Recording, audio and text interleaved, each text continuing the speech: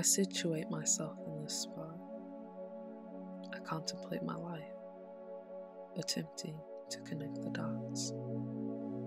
Because life is such a mystery, I spend this time alone, questioning and reckoning my destiny.